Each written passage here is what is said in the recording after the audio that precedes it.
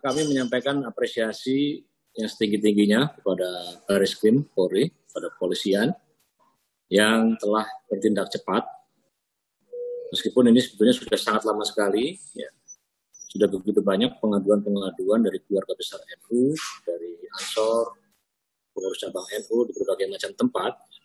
Kami Tengarai Nursugi ini sudah sejak lama melakukan uh, menyebarkan ujaran kebencian tendensius sekali terhadap keluarga besar Nahdlatul Ulama. Untuk itu kami menyampaikan apresiasi penghargaan setinggi-tingginya dan, dan mari kita hormati dan taati hukum yang berlaku Selebihnya kita akan menunggu proses berikutnya di kepolisian tentunya. Dan kita harapkan pada warga NU untuk tetap bisa tenang, tidak terprovokasi oleh berbagai macam hasutan-hasutan yang uh, tidak kita inginkan. Jadi percayakan ini semuanya kepada